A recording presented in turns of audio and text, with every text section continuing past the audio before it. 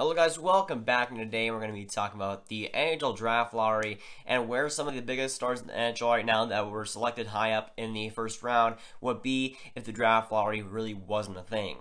Now, from 1995 all the way to 2012, a team couldn't move up more than five spots. So that basically means that the uh, highest a team that could get the first overall pick was the fifth team. You can see it a couple of times in what I'm about to show you, but it wasn't. You couldn't jump that big if you're going to get the first overall pick. You had to be at least with the fifth pick to jump that high. So just setting some ground rules for the NHL there, but they didn't allow that big of a jump. Unlike now, where you can be the Hurricanes and be the 13th or the 11th pick and all the way to second or first overall. It just wasn't that way back then, even six years ago. I'm not going to mention every draft year since some of them didn't really change at all, but we're going to start with 2004. But in the 2004 season, the bottom three was Pittsburgh, Washington, and Chicago in that order. But of course, the lottery was favoring Washington as Washington won that first overall pick, second being Pittsburgh, and with that third overall pick, it was Chicago. So when Ovechkin, Malkin, and Cam Barker third overall for the Chicago Blackhawks. I haven't even heard of that name before I before today. So yeah, it was a bust, obviously. Chicago Chicago Blackhawks not doing too well on that front, and obviously not doing too well on that pick, but of course they get into Kane and Toews after that, so I'm not feeling too bad for them. So again, looking at this 2004 draft, it wasn't the thing. Washington probably would have picked Malkin at number two, and then Pittsburgh would have had Ovechkin. They would have had Crosby. If they had both on their team, that would be ridiculous. But the two great Russians there. But imagine if Pittsburgh won that lottery, kept it, and then kept it with Crosby. It'd be Ovechkin, Crosby. It would be even more of a dynasty than we're seeing today. It would be craziness. But number three, of course, it's stuck with Chicago. Then we'll skip ahead a little bit to the 2007 draft, where the bottom three was Philadelphia. Philadelphia, Arizona, and LA. Then it ended up being Chicago, Philadelphia, Arizona. I think Chicago was like fourth or fifth in the standings, so they were still available to do that. They just jumped a lot. Then the order ended up going Kane, which, of course, ended up being a franchise player for them, JVR to Philadelphia, and Kyle Turris to Arizona. Now, of course, if that draft lottery did not happen, Philadelphia would be here with Kane, and I think that they take that for sure. I think then Arizona would have JVR, that's a good player for them, and LA would have Turris. That'd be an interesting situation with their center position, but it would still be a different different makeup. Again, all these things changed, and it could have been a way different thing if the if the draft lottery stuck. It could have been a different league even. Just think about it. If, if Chicago didn't win that draft lottery, didn't get Kane, they probably would have won three cups. That's for sure. Maybe not even two. Maybe not even one. I mean, Kane is that influential for Chicago's success. I mean, if they didn't get that first overall pick, Chicago might not have even won anything in this decade.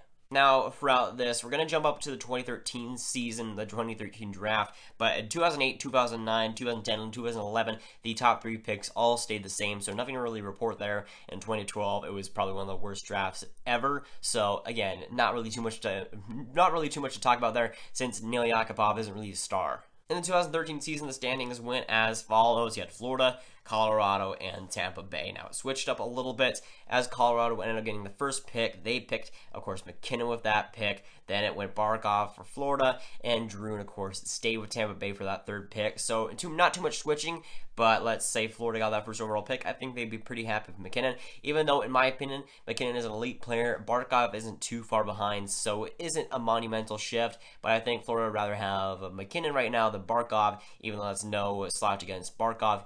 Barkov's an amazing player. It's just MacKinnon is that much better. Then we look at the 2014 draft where Buffalo came in first, Florida second, Edmonton third. That was the standings going into it. Then the uh, slot, then the lottery happened. Florida jumped up to number one, Buffalo number two, and Edmonton number three. But the draft went as follows. You had Florida picking Ekblad at number one. Second, you have Buffalo picking Reinhart. And third, Draisaitl to Edmonton. I still think that Buffalo would have rather had Draisaitl looking back on it. Reinhart had a good, better second half, but still not Draisaitl numbers. I think that it was a big mistake there. But uh, Buffalo could have gotten that first overall, just have Ekblad, and that would have been fine. Ekblad's still a great player there, but Florida probably would have picked Reinhart. It depends though, but if that went that way, I think obviously they would rather have Draisaitl, but it switched a little bit, kind of like with the McKinnon, MacKinnon and Barkov situation. It was just switched up a little bit more than that, but it wasn't that big of a gap from players. And then you have the famous 2015 NHL Draft Lottery, where the Buffalo Sabres were trying to get number one. They were last in the league by a long shot. Then you had Arizona at number two and Edmonton at number three. Then it went, of course, Edmonton at number one. Then you had Buffalo at number two, and then you had Arizona at number three. And obviously, it was a huge deal for that. Buffalo missing out from McDavid as McDavid goes to Edmonton, Eichel goes to Buffalo, and Dylan Strome goes to Arizona. Again, not too much change, but only a flip flop the first and second positions, but it was a massive one as McDavid is an amazing player. He's a franchise player, maybe even the best player in the league, while Eichel is still great, but of course not that great, even though he is fantastic still. But Buffalo missed out on a franchise player. Eichel still might be that, but not quite as good as McDavid, and that was a huge shift, and it was a huge mark for both Edmonton and Buffalo, as one had lots of luck and the other did not. But Buffalo having to miss out from that after taking seriously hard was obviously very bad for them, and they didn't really they didn't really come back from that as Buffalo Eichel didn't help them as much as Edmonton with McDavid. And you have in 2016 where the top three shifted a little bit more. Toronto's at number one, you had Edmonton number two, and Vancouver number three.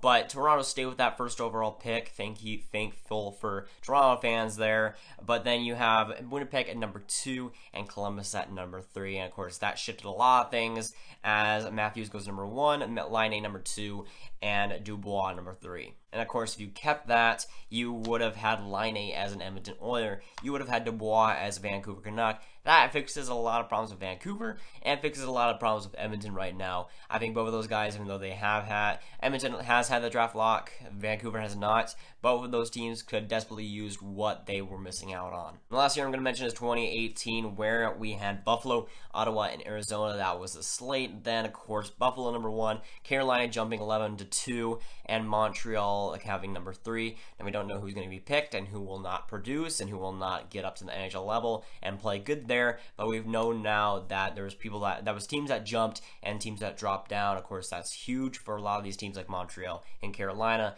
and of course bad for teams like Ottawa and Arizona. But even though you might not think about it too much, Ovechkin would have been paying without the lottery. Malkin would have been a Washington Capital without the lottery. Kane would be a Flyer without the lottery. Then you have JVR as a Coyote, Turris as a King. You'd have MacKinnon as a Panther. You'd have Reinhart as a Panther. You'd have Barkov as an Avalanche. You'd have Ekblad as a, Ekblad as a Sabre. You'd have McDavid as a Sabre. You have Eichel as a Coyote. You'd have Strome as an Oiler. You'd have Laine as an Oiler. You'd have Dubois as a Vancouver Canuck, and a lot of these things shifted. And you may not, you may underestimate it, but a lot of the starts today were affected by the draft lottery. A lot of them could have been on different teams if it had not even been a thing, like the MLB or the NFL. I think we doubt sometimes how much the NHL draft lottery changes the league. I mean, Again, I just mentioned all these players that shifted, but if Ovechkin would have been Penguin, who knows what would have happened? I mean, there's a lot of things that could have shifted. Maybe maybe the Flyers would have been a lot more competitive in 2010 if they had Kane,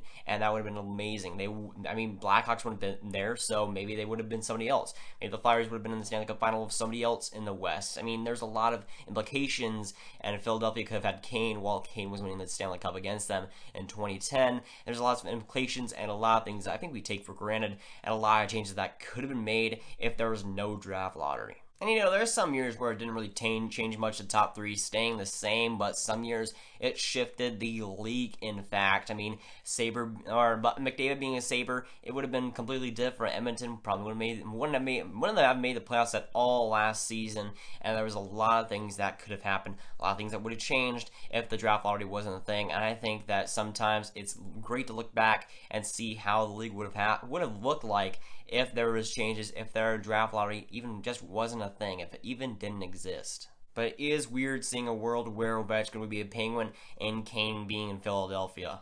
And also, Buffalo having three first overall picks of out of the years that I mentioned.